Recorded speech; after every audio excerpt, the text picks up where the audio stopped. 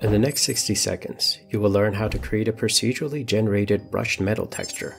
Go to the shading viewport, then use the add menu to drop in a texture coordinate node, a mapping node, a noise texture node, a color ramp node, two mix RGB nodes, and finally a bump node.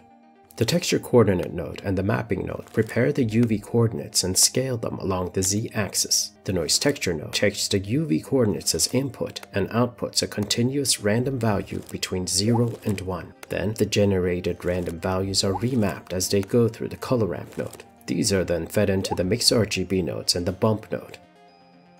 Now, to add an engraving to the texture, add an image texture node, another color ramp node, and a mix RGB node. Use the image texture node to load an alpha transparent image from your computer. The image texture is then combined with the brushed metal texture as they pass through the mix RGB node. If you're interested in making a circular brushed metal texture, I recommend watching this next video.